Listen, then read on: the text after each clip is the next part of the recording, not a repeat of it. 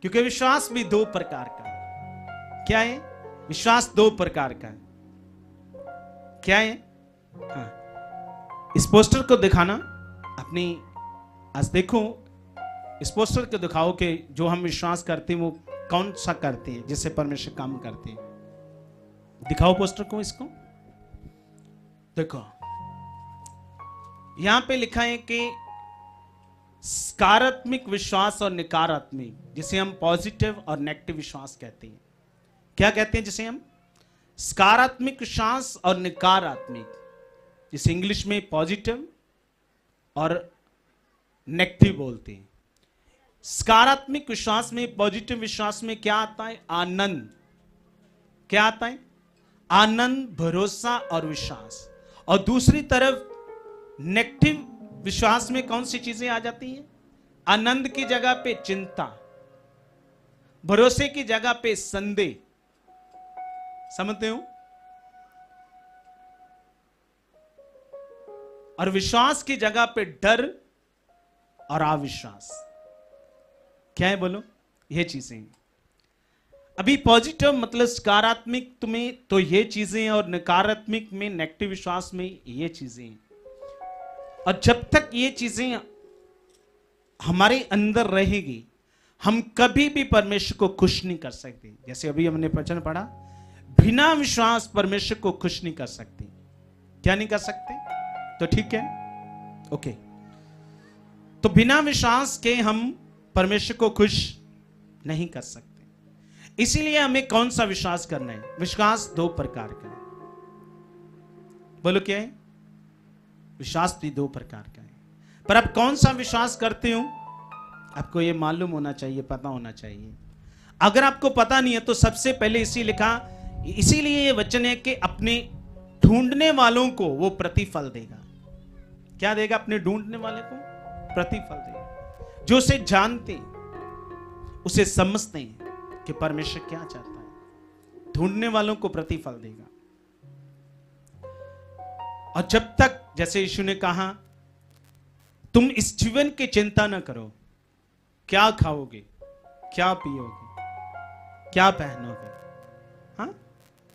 तुम्हें क्या क्या चाहिए इस जीवन की चिंता ना करो। सबसे पहले तुम किसके राज्य और सच्चाई की खोज करो? किसे समझो? बाद में ये सब वस्तुएँ, सब चीज़ें जो तुम अपने जीवन में चाहते हो, तुम्हें मिल जाएँगी। क्या जाएँगी? इंग्लिश में लिखा एडिट जुड़ जाएँगी। ओरिजिनल टेस्ट में लिखा जुनानी शब्द में ये सब चीज़ें तुम्हारे पीछे पढ़कर मिलेंगी।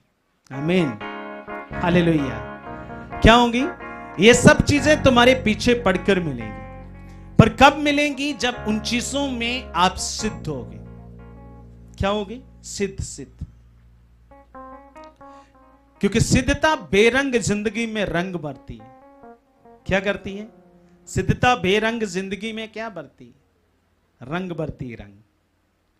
और किस इंसान के जीवन में रंग बरता है? परमेश्वर जो अपने आप को बदलता है। क्यों बाइबल कहती है कि तुम्हारे मन के नए हो जाने से जो तुम्हारा चाल चलन है, वो क्या? है बदलता जाए। क्या जाए? बदलता जाए। समझते हो? नया जीवन तो मिल गया हाँ? बपतिस्मा लेकर हम एक नए जीवन में आ हैं, पर फिर भी परमेश्वर कहता है, तुम्हारे मन के नए हो जाने से, इस नए जीवन में आने के बाद जो तुम्हारा चाल चलन है, वो बदलता जाए। क्या जाए? बदलता जाए। इसलिए हम जानते हैं कि बाइबल में लिखा शरीर के काम भी प्रगट हैं और आत्मा के काम भी। हम जानते हैं कि शरीर के काम क्या है। उसमें क्या क्या है? पता है कि नहीं पता? पता है ना? तो जब तक ये चीज़ें हमारे मन के अंदर है तब तक आप किसी ने कुछ कर सकते। किसे कुछ नहीं। है क्यों यीशु मसीह ने प्रभु होकर भी चेलों के पैर धोए धोए? क्यों? क्योंकि वो दीन बना। उसने करके दिखाया, एक नमूना नमूना। क्या दिखाया एक? नमूना। संसार के लोगों के, कि मैं गुरु होकर भी क्या कर सकता हूँ? समझते हो? एक नमूना दिखाया उसने। इसलिए जब तक शरीर की चीज़ें हाँ तब तक इंसान किसी नहीं खुश कर सकता। समझ रहे हो? किसी नहीं खुश कर सकता, परमेश्वर को वो कभी भी खुश नहीं कर सकता। उसे खुश करने के लिए, उसे वो जीवन पाने के लिए, उस जीवन से, जीवन की हर आशीष के, वो पाने के लिए।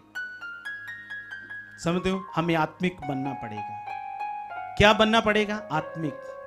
क्योंकि शरीर में रहकर हम कुछ नहीं ले सकते परमेश्वर से।